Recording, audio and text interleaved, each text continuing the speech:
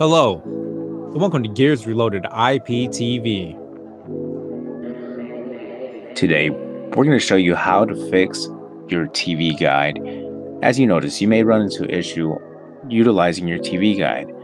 As you're watching a TV channel and go back to your TV guide, you may receive some sort of black screen. To resolve that issue, you need to turn off accelerations onto Kodi. To do so, scroll up to where you see settings. Select it. Now select player settings. Now scroll down where you see standard. You're going to select it.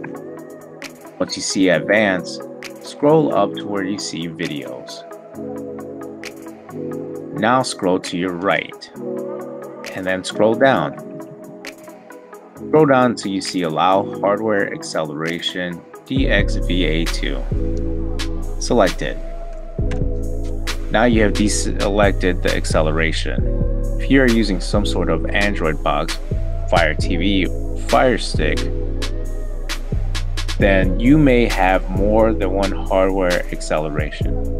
Go ahead and deselect them all. Make sure they're all turned off. Now, where you see Enable HQ Scalers for scaling above, lower the percentage rate. I lower mine to 10. You may do so also.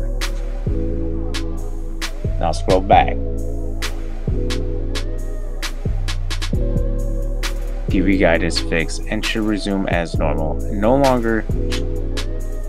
If you found this tutorial easy to use, please hit the thumbs up button. And do not forget to subscribe to our YouTube channel to get notified of our latest news and giveaways.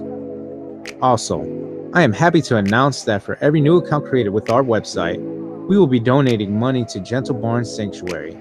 The Gentle Barn Sanctuary helps kids with special needs, at risk youth, school and education, and they rescue animals that were abused, abandoned, and neglected. Our goal is to reach $100,000. Once we have reached that amount, we will be doing a big giveaway. Once again, don't forget to subscribe and turn on notifications.